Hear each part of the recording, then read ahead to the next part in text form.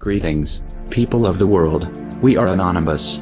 As many of you are aware, over the past several days, significant demonstrations have been held in protest of the corrupt financial system that favors the richest 1% of our nation, while the remaining 99% have to deal with things such as abuse of our civil rights, overseas outsourcing of our jobs, and living off minimum wage while gas hovers around $3.50 a gallon. The minimal attention given to these demonstrations has caused growing concern, with rumors of media blackouts and repealed news coverage becoming increasingly harder to deny. We would like to thank those in our national media that chose to cover the truth about the events of the Wall Street occupation. Your contribution to society will not go unrecognized.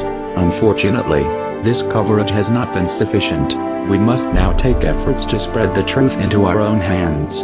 It is now up to us, the people of this great nation, to act for ourselves. We must share the truth through our social networks, by texting, instant slash private messaging, posting, and blogging to our friends and relatives. We must take to the streets and speak of the truth in our coffee shops and mall outlets. Our voices will be heard. Bloggers, dedicate your blogs to Occupy Wall Street. Website owners, write an article about Occupy Wall Street people in urban areas. Pass out and post up flyers about Occupy Wall Street.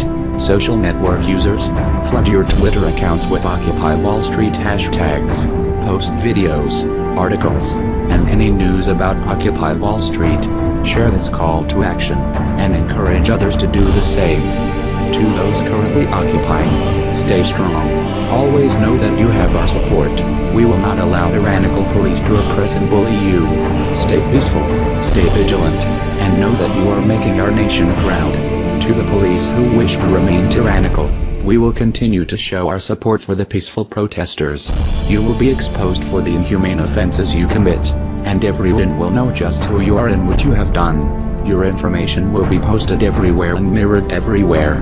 If you strip the freedom away from our peaceful protesters, then we shall strip your privacy away from you. To the people of the world, you are anonymous. You are legion. You are the media. You are the voice of truth. You cannot forgive. You cannot forget. They should expect us.